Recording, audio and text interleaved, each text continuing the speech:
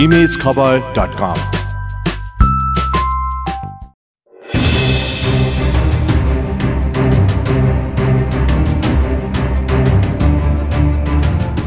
हिउँदे अधिवेशनलाई विधेयक अधिवेशन भन्ने गरिन्छ। विधेयक अधिवेशनको मुख्य काम नै कानुन निर्माण हो। तर कानुन निर्माणको सन्दर्भमा प्रतिनिधि सभाको चालु अधिवेशन निष्क्रिय प्राय भएको छ। अहिले पनि झण्डै तीन दर्जन बढी विधेयकहरू संसदीय प्रक्रियाको विभिन्न चरणमा छन् तर ती विधेयक अगाडि बढाउन न त सरकारले चासो दिएको छ न त सभामुखले नै। सत्तारूढ दलकै एक घटक माओवादी केन्द्र र विपक्षी दल काङ्ग्रेसले सदनलाई बिजनेस नदिएर सरकारले निष्क्रिय बनाउन खोजेको आरोप लगाएको छ।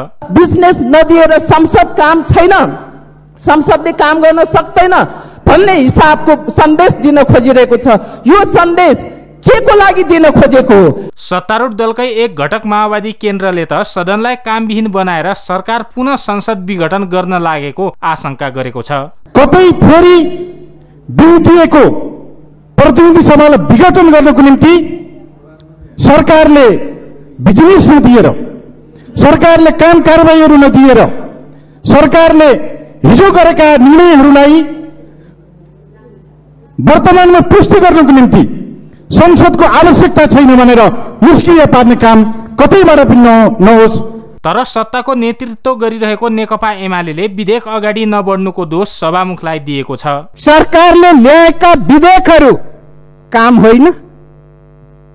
सन्धि सम्झौताहरू अनुमोदनको निम्ति ल्याएको यो काम होइन? संसदमाथि प्रश्न उठ्छ भने संसदले काम गर्न सकेन भने प्रश्न उठ्छ भने त्यतिखेर त संसदका पदाधिकारीहरू सभामुखज्यूमाथि पनि प्रश्न उठ्छ। हुन त संसदलाई बिजनेस दिने सवालमा सरकार अनिच्छुक देखिएको सत्य हो। उसले चालु अधिवेशनको पहिलो बैठकलाई मुद्दा बनाएको छ। चालु अधिवेशनको पहिलो बैठकमा सरकारले पेश गर्न लागेको आठवटा अध्यादेशहरू सत्तारूढ दल माओवादी केन्द्र र विपक्षी दलको विरोधका कारण पेश हुन सकेको थिएन। अध्यादेश पेश गर्न नदिनको लागि माओवादी केन्द्रले बैठक बहिष्कार गर्यो। कङ्ग्रेसले रो रोस्टम घेर्ने काम गर्यो। यो तितो यथार्थ र इतिहास हामी सबैले सम्झेका छौँ। हुन त सर्वोच्च अदालतको फागुन तेइस गतिको फैसलाले परिवर्तन भएको राजनीतिक अङ्कगणितले सरकार सदनलाई बिजनेस दिन इच्छुक देखिँदैन।